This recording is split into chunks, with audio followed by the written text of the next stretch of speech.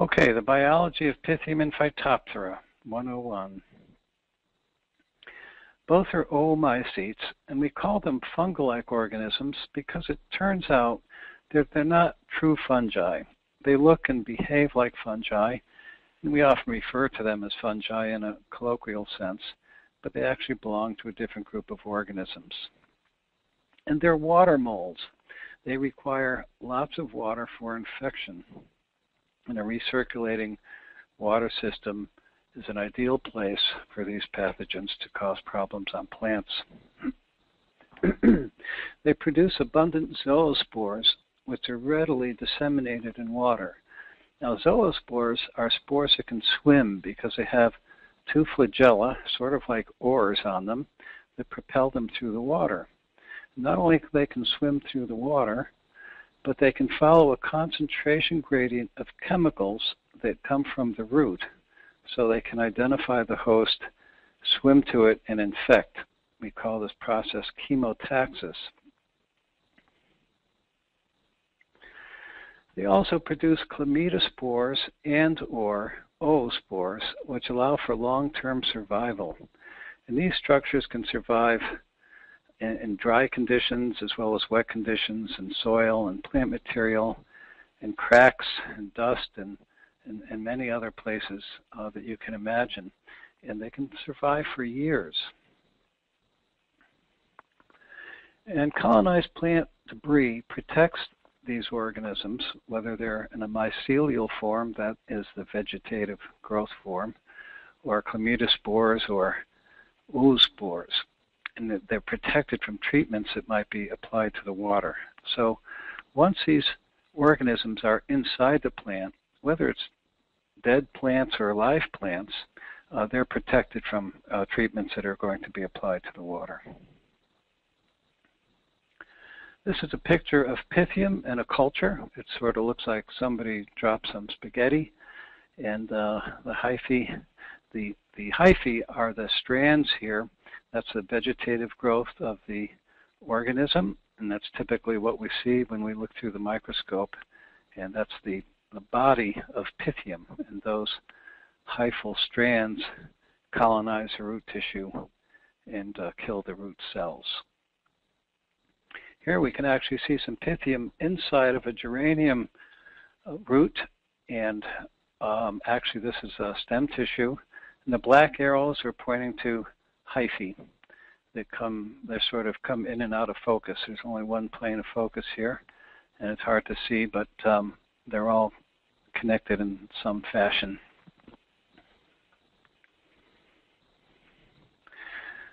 Okay, uh, talk a little bit about the oospores. So the structure on the left are the sexual organs of Pythium.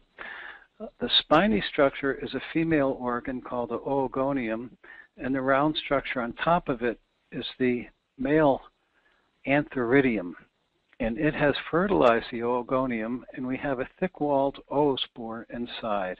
And the oospore is key to the organism's survival.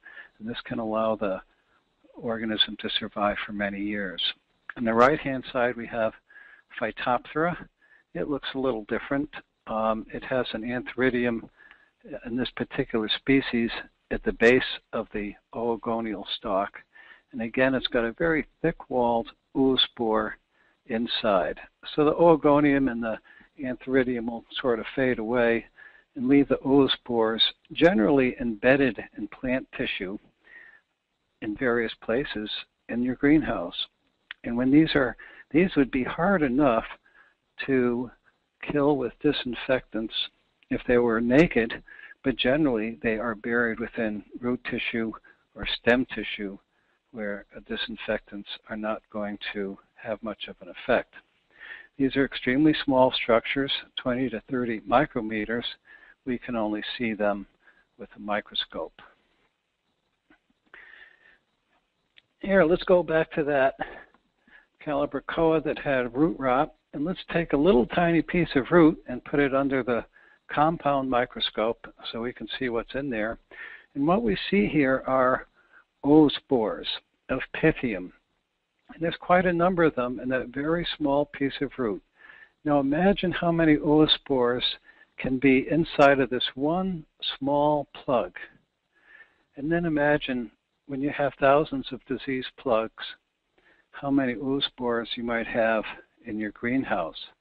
Not to mention the fact that these uh, these rotten roots kind of slough off, they break away, they get into the uh, irrigation system, they end up in the cracks and crevices of the of the greenhouse floor, and so on and so forth. And this is why it can be difficult to sanitize a greenhouse after a disease episode with Pythium or Phytophthora, or for other fungi for that matter.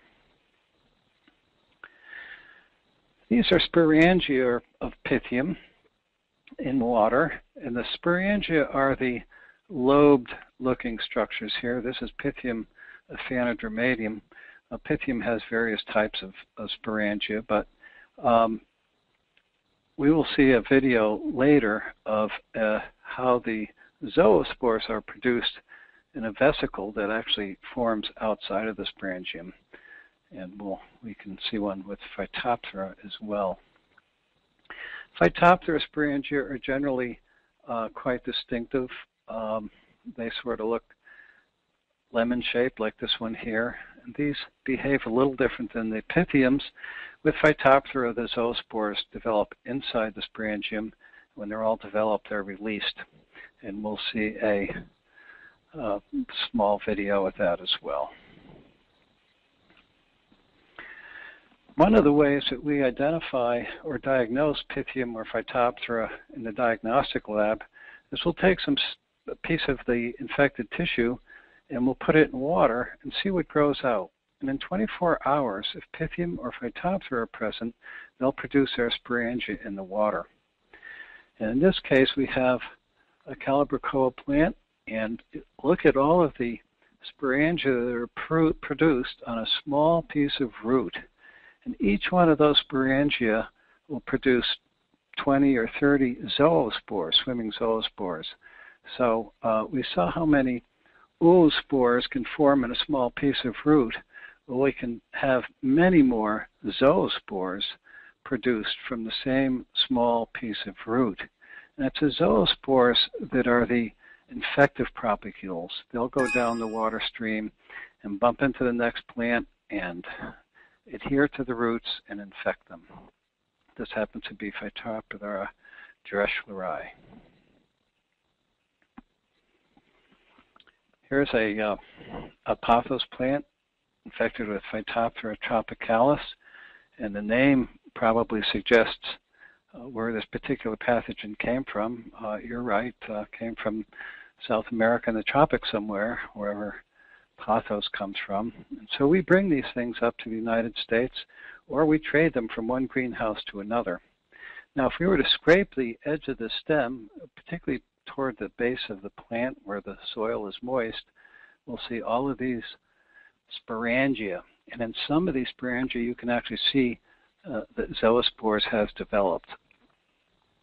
Uh, here we see a movie of Phytophthora releasing zoospores that have developed inside the sporangium, and it looks like they're swimming aimlessly around. Actually, they are. But if there was a root in here, they would swim toward the root by the chemotaxis I mentioned earlier, adhere to the root, and then infect it.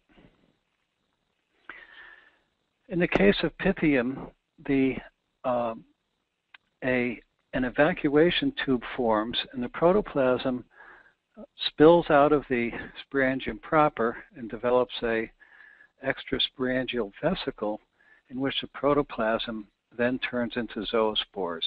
It's quite fascinating to watch this whole process.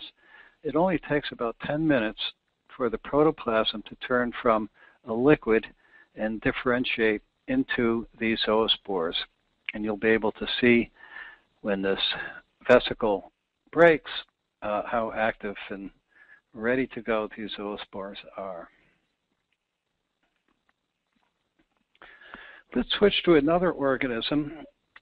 This hydroponic basil system is infested with Fusarium oxysporum, and this organism is extremely uh, pathogenic to basil and causes a vascular wilt. about 10% of the plants in here are infected. Perhaps they don't look, look like it, but uh, as the temperature warms up in this greenhouse, a lot of these plants will wilt. And this was a complete loss uh, for the grower. As you can imagine, when one plant gets infected and it produces spores, now these aren't swimming spores, but the spores readily travel down the irrigation stream where they bump into the next plant and infect it. Of course, some of the plants continue on to the next plant, the next plant, and so on and so forth. If this water circuit recirculated, then the fusarium starts at the top. And before you know it, uh, nearly all the plants will be infected. And, and like we had last time, we have a situation where there's going to be a lot of root pieces left over after we clean up. And those root pieces will have infective propagules of fusarium. Let's take a look at a, a root that's infected with this vascular pathogen. Here we have these large canoe-shaped structures inside the vessels of the inside the conduct, water conducting vessels of the plant and it's plugged them up uh, very nicely and water is just simply not going to travel up into the plant as we need it. Up in the upper left hand corner are chlamydospores. I haven't shown you a picture of those yet, but chlamydospores are simply thick-walled spores that allow the fungus to survive for many years in the absence of a host. So again, we'll have infected plant debris left over after we clean this up. And one of the important things to do is to get rid of all of this plant debris so we can adequately disinfest the system.